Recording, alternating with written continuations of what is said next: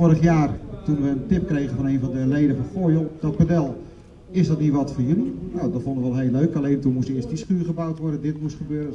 En het resultaat kunnen jullie allemaal zien. Twee fantastische padelkooien en een optie naar een derde.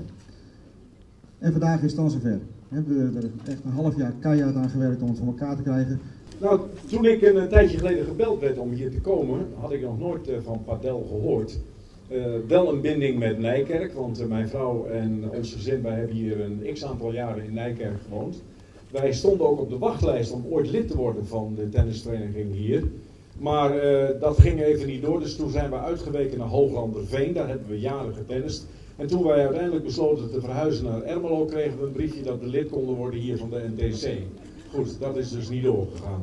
En padel is met name in de Spaanstalige landen een enorm populaire sport. In Spanje, waar uiteraard voetbal sport nummer 1 is, is padel sport nummer 2.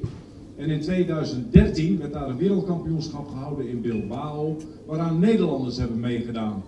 En ik hoop, als zometeen de baan hier officieel geopend is, dat over een x aantal jaren het WK Padel hier in Nijkerk wordt gehouden. En dan kom ik zeker kijken. Ja, het enige wat ik een beetje, uh, ja, toch wel een beetje toevallig vind, is dat de heren die daar staan in het tenue van Sparta zijn. Maar goed, het is niet anders, voorzitter. Ik ga er even heen. Of, wat mij betreft zijn de banen officieel geopend. Hoi, hoi. Wat, wat, wat mag ik gaan doen? Ja, spelen. Hier hebben we... Nog één.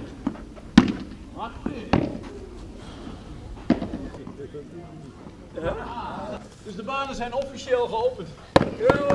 Ik heb in ieder geval één, één bal, ik heb twee ballen goed geslagen. hè? Oké, oké. Ik ben uh, coach op de pelbanen van NTC, op de leden van NTC nu en op de leden van NTC voor de toekomst. Goed.